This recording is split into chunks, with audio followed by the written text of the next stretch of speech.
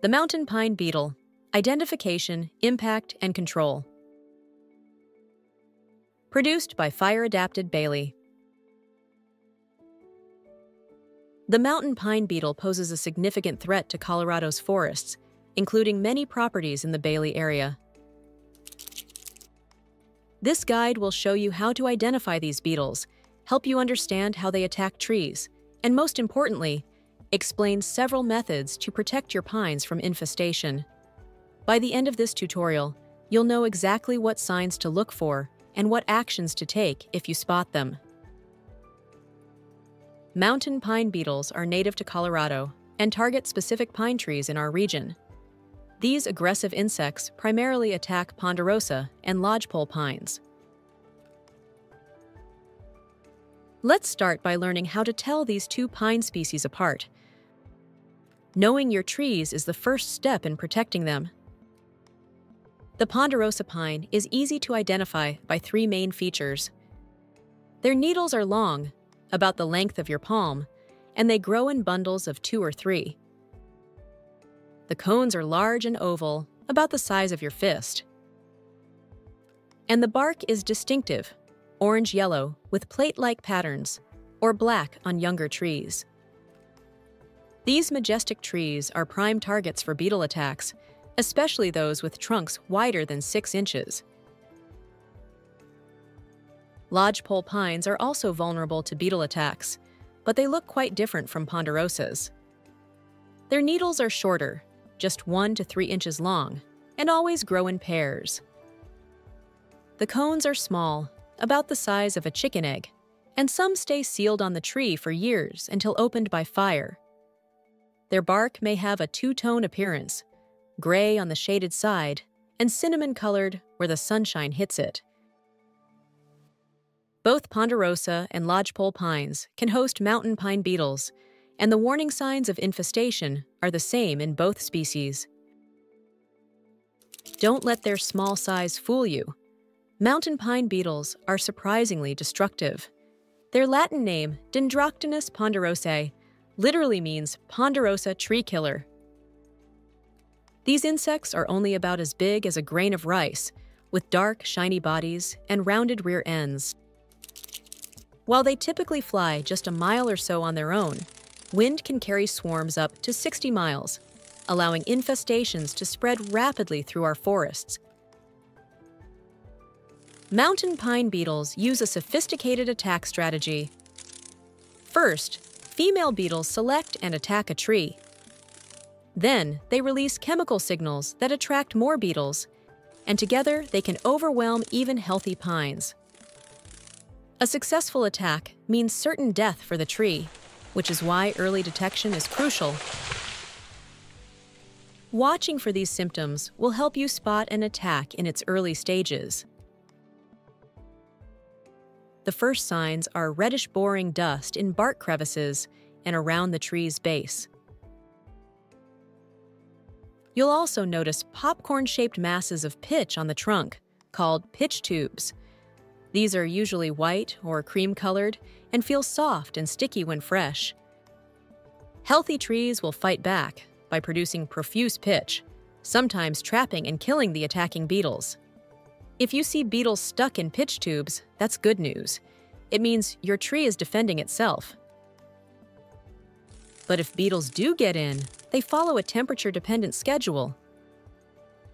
They attack in mid-July to late August, mate, lay eggs, and their larvae develop through fall. They go dormant all winter. By spring, these larvae are feeding heavily under the bark.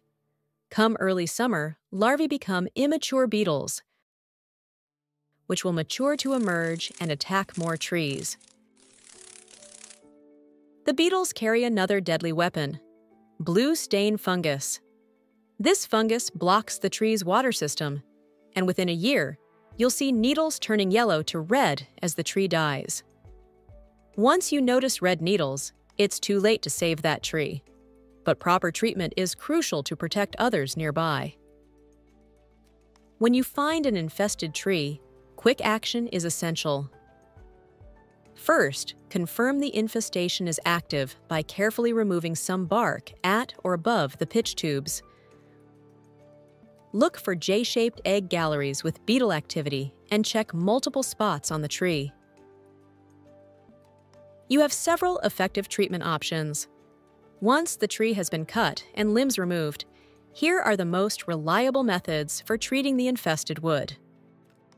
Bark removal works year-round. Strip away the bark wherever you see pitch tubes, continuing up the full length of the egg galleries. This exposes the beetles to sunlight and predators and halts their development. The cut and split method is another good choice that can be done in the fall and winter. Cut infested logs into firewood lengths, split them immediately, and stack the wood in single rows in a sunny, windy spot, away from healthy trees. Keep stacks under 4 feet high, with 3 feet of space between them.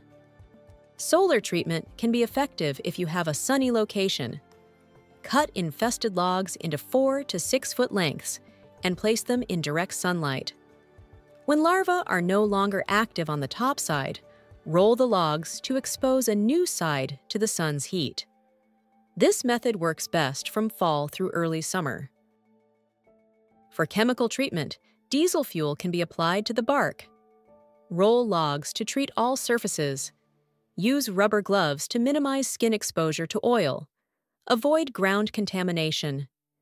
This method works in any season. Be sure not to smoke while applying diesel oil. Smaller logs can be chipped or masticated. Spread the chips thinly, less than 3 inches deep, to allow water to penetrate down and vegetation to grow up. For the branches, also called slash, you have the following options. Chip, masticate, cut them into small pieces and scatter them in open areas, or compactly pile them for winter burning where permitted, or haul them to slash disposal sites. Important reminders. Never transport infested trees without treatment. This can spread beetles to new areas. And remember, treating one tree isn't enough if nearby trees are infested. Don't delay treatment once infestation is confirmed. Treating healthy-looking trees that show signs of beetle attack is a proactive way to fight infestation. Treating even half of the infected trees makes a big difference in future beetle populations. Consider coordinating with your neighbors for more effective control. Protecting your trees requires year-round vigilance. Each season brings different warning signs to watch for. Winter might seem quiet, but watch for increased woodpecker activity. These birds target beetle-infested trees, and their bark flaking can reveal hidden problems. Early summer brings the first signs of needle discoloration in affected trees. Check your pines every few weeks and take action before the next beetle flight season begins. Summer is critical. Watch for small exit holes, without pitch around them, in the bark. This indicates that the beetles have emerged and are on the way to attack new trees. In fall, check for fresh, soft, sticky pitch tubes on tree trunks and reddish boring dust in bark crevices. This is when new attacks begin, so catching them early is crucial. Remember, successful treatment stops the cycle. Coordinate with neighbors when possible, as beetles don't respect property lines Early detection and quick action are your best tools for protecting your forests. Throughout this tutorial, you've learned the essential skills for protecting your property from mountain pine beetles. You can now identify vulnerable ponderosa and lodgepole pines, spot the early warning signs of an attack, and recognize when beetles have overwhelmed a tree's defenses. You understand their seasonal life cycle and how they spread through our forests, most importantly, you know the steps to take when you find an infested tree and how proper treatment can help protect our entire forest community. Stay vigilant, act quickly when you spot problems, and work with your neighbors. Together, we can limit the impact of mountain pine beetles on Colorado's forests. Contact your local forestry office or visit fireadaptedbailey.org for additional guidance and resources.